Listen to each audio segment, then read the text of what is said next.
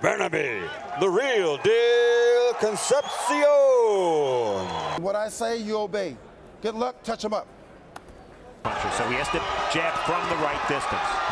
Well, other than that right hand from Concepcion, it was a good round for Santiago. Big right hand, and Concepcion's going to try and take it on the gloves by uh, Santiago. And there's